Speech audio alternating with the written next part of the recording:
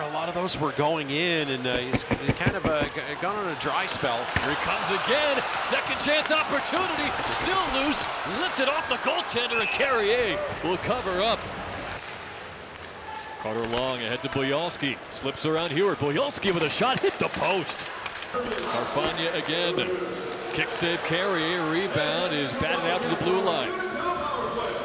Another try. Another save and a score!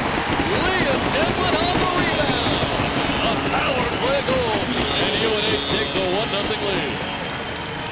Cy Leclaire, too. He's got the second most goals among freshmen in the league, behind only Cutter Gauthier of BC. Dunlap to the slot. Big chance. And Erickson scores. Man, does he find a way to create those chances? Lombardi coast to coast and he scores. What a snipe from Massimo Lombardi. And the freshman gets his second collegiate goal. Vermont's right back in it. Again. Onside this time with Porter Shackle. And the trailer Stucker.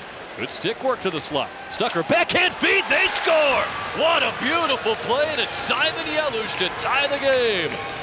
Leclaire got spun around and gave it up.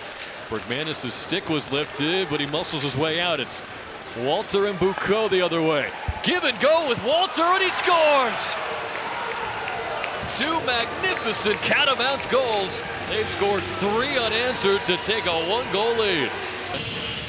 Leclaire wins it off the wall. Carfagna looking for Erickson. Read by Bucco. Still got a shot off, but he missed it wide.